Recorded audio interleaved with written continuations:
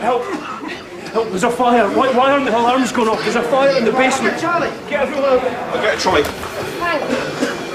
Frank, can you hear me? He told me not to open the door. I didn't listen. Squeeze my hand. Can you hear me, Frank? Yeah, okay. We've got it from here, Lenny. Sorry? Empty recess we've got- Where's Sussex? Police is the only place you can't go outside. You'll never survive. Okay, we got it? Let's go. Right, let's do a full ACLS, so we may need to intubate. You kept talking about a, a Kate. Save Kate, save Kate. I, I don't know who Kate is. She could be. We've got it from here. You go outside, okay?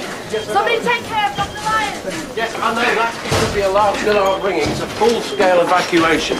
Security have notified the fire service. All right. I thought you'd gone. So did I. I'm gathering names. All right, thanks for staying. It's appreciated.